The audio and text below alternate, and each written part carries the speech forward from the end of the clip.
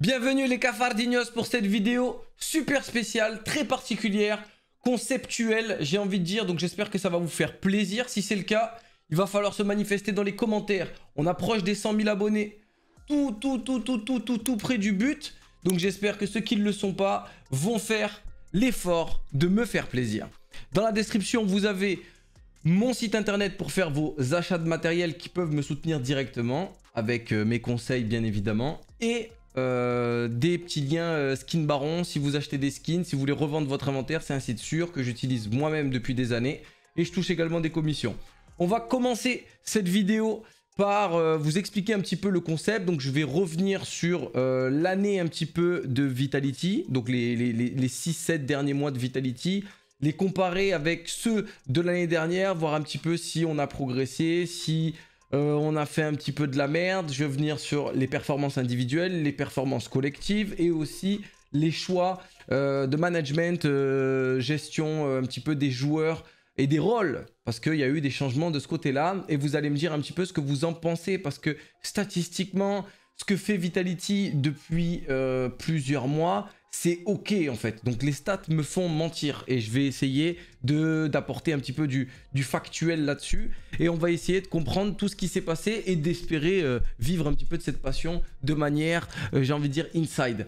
Alors on va revenir déjà sur l'année 2020 euh, qui se passe, on va dire, plutôt bien pour Vitality. C'était une très très bonne année de Vitality pas aussi bonne que celle de 2019, mais une très bonne année quand même, faut pas, faut pas, faut pas, l'oublier. Donc on finit 5-6e sur le premier tournoi de l'année, rien d'inquiétant, c'est le début, etc.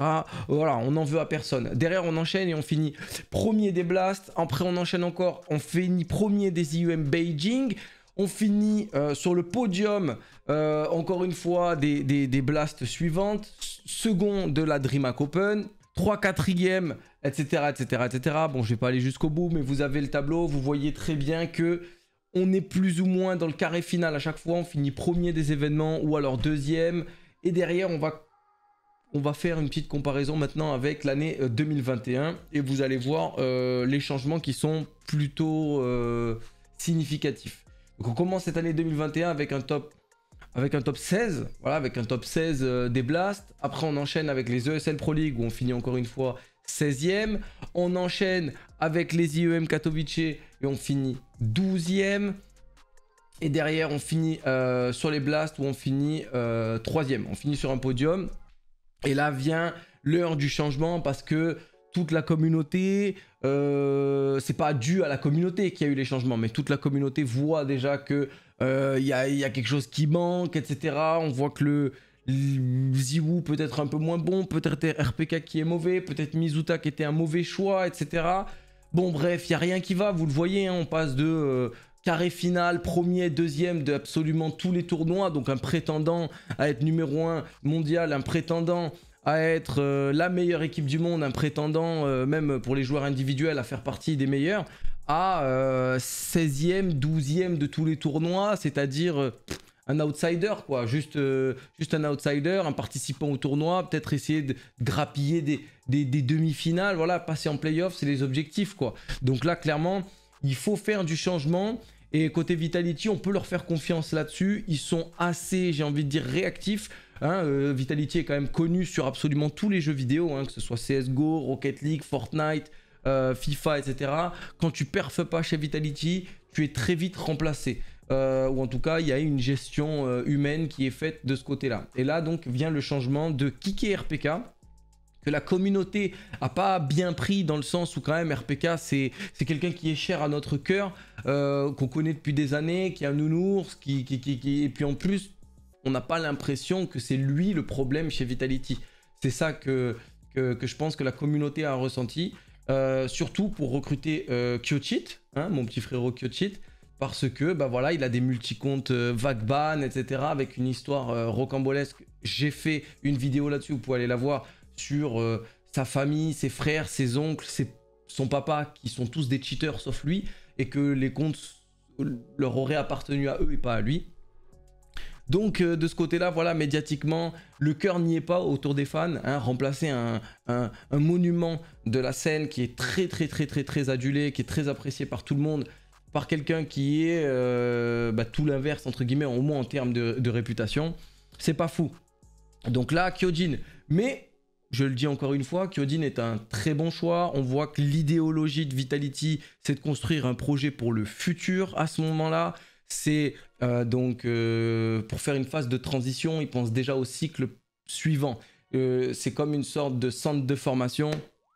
Voilà, Vitality, c'est pas une équipe qui qui a les moyens, euh, comme G2, c'est deux idéologies différentes en fait. G2 par exemple, ils ont vraiment la mentalité de on va chercher les meilleurs joueurs et on fait du renforcement et on paye cher. C'est ambiance Real de Madrid quoi.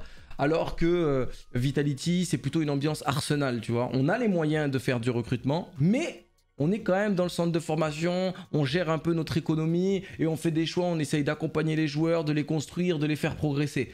C'est ce qu'ils ont voulu faire avec Mizuta, c'est ce qu'ils ont voulu faire avec Ziwu, et là c'est ce qu'ils veulent faire aussi avec Kyojin, accompagné de euh, Apex, accompagné de Shox, qui vont pouvoir un petit peu encadrer ces gens-là et de voir ça sur le futur. J'explique aussi, donc je pense que c'est comme ça que Vitality voit les choses. Et donc eux, ils veulent prendre un Kyojin qui va e-, être quelqu'un en devenir pour le futur. Pas forcément dans 3 mois, pas forcément dans 6 mois. Ils voient Vitality voit vraiment les choses beaucoup, beaucoup, beaucoup plus sur la durée. Et derrière, on voit les résultats avec Kyojin qui sont moyens, moyens. C'est un poil mieux qu'avec RPK, parce qu'avec RPK, ça faisait du top 16, top 12, comme vous l'avez vu. Et là, derrière, on fait euh, top 3-4 au, premier, euh, au premier événement, top 7 et top 7 euh, aux événements derrière. Donc, encore une fois, on n'est pas un prétendant pour être un champion on voit qu'on n'est plus un prétendant au, final, on n'est plus un prétendant pour être meilleure équipe du monde, on n'est plus du tout dans cette école-là. Mais on voit qu'on progresse, on voit qu'individuellement ça commence à progresser. Donc là maintenant on va voir une partie des statistiques et je vais vous expliquer pourquoi les statistiques vont me faire mentir et je vais essayer d'apporter moi mon raisonnement là-dessus. On voit que Ziwu par exemple en 2020 il avait un rating de 1,29. Et euh, le, numéro d'impact, c'est 1,38. Je sais pas sur quoi il est basé là-dessus. Et derrière nous, en 2021, on est sur 1,28 et 1,35. C'est plutôt similaire, comme vous pouvez le voir. Donc on va dire, mais non, mais Ziwu, il a absolument pas baissé de niveau. On passe à Shox. Shox, on est sur 1,05 de rating. Et 2021, on est sur du 1,01. C'est plutôt similaire. Donc pourquoi dire que Shox a régressé? Pareil. Mizuta, c'est l'inverse. Il y a carrément une progression côté Mizuta. Et pour le coup, je trouve que Mizuta a progressé. C'est vraiment lui, euh, je trouve que c'est vraiment significatif. Il est sur 0,99 euh, de rating, alors que sur 2021, il est sur du 1,02. Apex, on régresse. On passe de 1 de rating à 0,97. Pour RPK, j'ai fait une, une, comparaison avec Kyojin. Pour RPK, on était sur du 1,01 de rating on avait un ADR de 70. Donc l'ADR, les gars, c'est la moyenne des dégâts qu'on fait par round. Donc c'est une des stats les plus importantes. Pour Kyojin, on est sur 0,98 de rating et surtout on est sur 66 d'ADR. C'est un peu moins, mais on est plutôt similaire. Et donc là, vous allez me dire, bah non, Zdibou n'a pas, pas régressé, Shox n'a pas régressé, Mizuta n'a pas régressé, il n'y a que Apex un petit peu, mais pas, tout, pas ouf. Le truc, c'est qu'en fait, quand on compare les statistiques de 2020, on a plus de matchs, que 2021, étant donné qu'on va jusqu'en finale des événements. Donc forcément, on joue les huitièmes, on joue les quarts, on joue les demi et on joue la finale.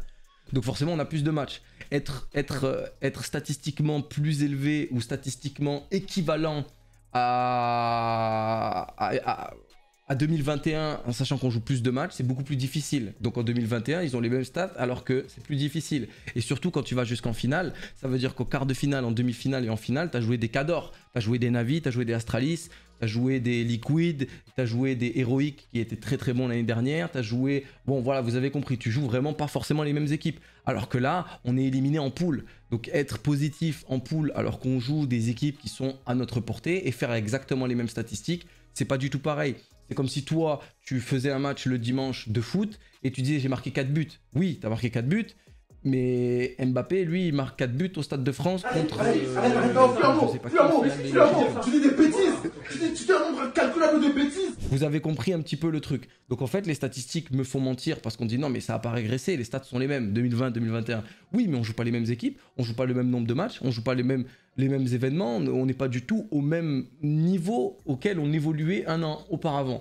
Donc pour moi, on a régressé. Statistiquement, non mais je vous prouve qu'on a régressé. Derrière le bilan de, de, de, 2021, hein, parce que ça, ça, suit encore, donc on finit 4ème, 7ème, 8ème, 16ème, 16ème, 12ème, 12ème, et on finit par un petit podium au Blast qui était... Euh, qui était salvateur, qui nous a donné un peu d'oxygène et on va dire qu'il y a eu une petite progression. Il y a eu des changements de rôle aussi. Rappelez-vous qu'au début de l'année, euh, avec le changement Mizuta Kyojin, on les a mis sur les mêmes BP. C'était des profils fixes. Euh, donc c'était des fixes BP qu'on a mis tous les deux ensemble. C'était vraiment une catastrophe le niveau de jeu euh, fait par les deux au même endroit. Donc on a dû les séparer. Donc on a dû, entre guillemets, prendre Kyojin avec un Shox, et le mettre en binôme avec Shox. Donc Shox, il le drive un peu, il le colle, il le redirige. Je lui dis, vas-y, place-toi là, vas-y, t'inquiète. Mets-toi ici, je te mets une flash quand t'as besoin. Ou alors toi, tu te mets là, tu me mets une flash quand j'ai besoin. Voilà, un petit peu de drive, un petit peu de, de, de, d'aide, hein, je pense que c'est ça qui a fait que on a vu une petite progression et, du mieux côté Kyojin et côté Mizuta qui était géré par Apex. Donc les deux et on a Ziwu qui était en électron libre un peu tout seul. Sauf que Ziwu c'est pareil, ça reste un jeune joueur, ça reste quelqu'un qui a un profil de, de, de, de discrétion, de pureté, de, de, Ziwu c'est pas, pas un playmaker, c'est un playmaker, c'est un scoreur, c'est un playmaker parce que c'est lui la pierre angulaire du jeu, mais Ziwu c'est aussi quelqu'un qui doit être drivé. Ziwu c'est quelqu'un sur qui on doit construire du jeu, sur lequel il doit avoir des supports. Donc lui aussi a besoin d'un Apex pour l'aider, pour lui mettre des flashs, pour le supporter, pour lui mettre une smoke, pour lui mettre une mollo, pour, pour le dégager d'une situation difficile. Et donc c'est pour ça que moi j'arrive euh, avec mon raisonnement. Je dis pas que c'est ma vérité, hein. je dis pas que c'est la vérité, mais c'est ma vérité en tout cas. C'est pour ça que je trouve que même Ziwu, il y a une baisse de niveau parce que il n'est pas supporté alors que lui aussi a besoin de support en fait. Ziwu a besoin de support. C'est pour ça que quand j'avais fait euh, ma vidéo sur euh, les top 1 et les comparaisons notamment avec Simple, je trouvais que Simple était beaucoup plus complet que Ziwu. Parce que Simple, c'est un autre profil humain. Humain, je dis bien humain. C'est quelqu'un qui a du caractère beaucoup plus que Ziwu. C'est quelqu'un qui drive une équipe. C'est un capitaine. C'est quelqu'un qui a du leadership. Donc c'est quelqu'un qui a du libre arbitre, de l'autonomie et, de la prise d'initiative. Ziwu, non. Il va avoir de la prise d'initiative, oui. Mais euh, il va le faire naturellement avec ses moves, quoi. Il va pas forcément le call. Il va pas forcément le diriger du jeu. Dire, ouais, vas-y, tiens, toi, tu vas me suivre. Tu vas mettre une smoke ici. Je vais faire ci, je vais faire ça. Simple va le faire, pas Ziwu. Ziwu a besoin d'être aidé. Ziwu a besoin d'être supporté. Et donc c'est pour ça que je trouve que euh, les statistiques euh, nous font mentir. J'espère, j'espère que cette idée de vidéo vous aura plu pour faire une petite comparaison 2020-2021. Ça reste un message d'espoir ce que je suis en train de faire parce que on voit qu'il y a une transition. Euh, voilà, on veut mettre à la retraite des joueurs, plus ou moins, parce que c'est des gens qui en ont marre un petit peu de jouer aussi, peut-être, hein, des RPK, des Existence, des Smith, etc., des Kyoshima. Ils sont tous partis parce que voilà, peut-être ils ont fait leur temps, ils ont gagné l'argent qu'ils voulaient, ils ont accompli ce qu'ils voulaient accomplir dans l'e-sport et donc ils n'ont plus forcément l'envie, la faim, la motivation de tout péter. Donc Vitality le voit, Vitality sont des gens très intelligents, il y a du staff qui est très très expérimenté là-dedans et ils veulent apporter un, encadrement le plus professionnel possible et surtout sur le long terme. Donc ça veut dire que Kiki RPK c'est dégraisser de la masse salariale, euh, prendre un Kyojin, prendre un Mizuta, c'est de la masse salariale qui est beaucoup plus petite que celle d'un RPK, d'un Shox, etc. Donc peut-être que dans le futur, euh, ces mecs-là sont juste là pour encadrer, pour coacher, pour voilà construire ces joueurs-là. Et après, on, va de nouveau euh, briller côté Vitality. C'est ce qu'on espère, je pense, de leur côté. Je pense qu'on est sur un cycle et qu'ils veulent recréer une boucle positive, mais dans 6 mois, dans 8 mois, parce que ça va prendre du temps ça va prendre du temps. je pense qu'il faut se résigner, je pense qu'il faut accepter le fait qu'on ne soit plus une équipe numéro 1 mondiale avec des, des prétentions à dire on veut être numéro 1. Je pense qu'on n'en a pas les capacités avec un roster comme il est là parce qu'on a beaucoup trop euh, peu d'expérience pour le moment. Euh, normalement, tu es censé avoir trois joueurs expérimentés, trois pivot, parleur, on va dire ça comme ça, un lead, un co-lead et quelqu'un qui sait se gérer tout seul. En général, c'est comme ça dans des équipes quand tu les construis. Et deux joueurs, entre guillemets, que tu peux avoir style pépite avec des profils euh, euh, voilà, intéressants. C'est pour ça que je reviens encore une fois à ce que j'avais dit dans une vidéo. Je trouvais que l'apport d'un body, euh, l'apport d'un d'un joueur comme Body au lieu d'un Kyojin, j'aurais préféré parce que Body sait se gérer quand même tout seul. Il a quand même eu de l'expérience à un niveau international. Bon, je fais une parenthèse dans une parenthèse, mais c'est encore une fois pour vous donner du contexte et expliquer un petit peu les propos que j'ai eu par le passé dans certaines vidéos que les gens ne comprennent pas parce qu'à chaque fois je me bats dans les commentaires avec les gens qui disent Malek tu dis de la merde Ziwoo il est fort il avait 1,30 de, de KD là il est à 1,31 de KD Donc euh, il n'a pas régressé, tu es en train de dire de la merde. Moi je sens, je vois les matchs et je sens que on n'a pas du tout le même impact. D'accord? Si on fait top 1 avec un 32 KD et si on fait top 16 avec un 32 KD, c'est que clairement on est juste en train de battre des noobs entre guillemets. Pour eux, c'est des équipes abordables quand tu éclates tout le monde en phase de poule, que tu roules sur tout le monde, tu as un 62 KD et qu'après tu perds ton match éliminatoire avec 0,80 KD, la moyenne des deux, ça fait un 32 KD. Mais au final, tu as un tournoi où tu finis premier et tu as un tournoi où tu finis 16e. Est-ce que c'est pas mieux de finir premier ou est-ce que c'est mieux de finir 16e Moi, les stats, euh, j'en ai rien à faire. Ce que je veux, c'est du ressenti. Et quand je regarde des matchs, à l'heure actuelle, je trouve qu'il y a eu une grosse baisse de, de, niveau, mais j'arrive à l'expliquer, je le comprends, et je prends mon mal en patience parce que je sais qu'on est en train de recréer un cycle côté Vitality. C'est ce qu'on veut en tout cas, et euh, ça va prendre du temps. Voilà, ça va prendre du temps. Et euh, je pense qu'RPK, avec RPK, ça aurait été mieux. Pourquoi alors ça s'est mal passé avec RPK Parce que les trois premiers mois de 2021 se sont très mal passés. Ben, je pense que c'est parce que euh, voilà, l'ambiance, c'était la fin d'un cycle, peut-être que l'ambiance n'était pas là, la motivation, l'envie, le travail n'était plus là, et donc il fallait faire un changement. Mais je suis pas sûr que RPK était le, le, bon choix personnellement. Ou en tout cas, peut-être que lui c'était le bon choix, mais en tout cas, l'apport de Kyojin, pour moi, je pense qu'il y avait mieux à faire. Mais on va prendre notre mal en patience et accepter les choix des professionnels qui dirigent Vitality. En tout cas, j'espère que cette chronique vous aura plu, ce thème vous aura plu. J'ai l'intention de le faire sur G2 si ça vous intéresse, parce qu'il euh, y a beaucoup à dire sur G2 aussi.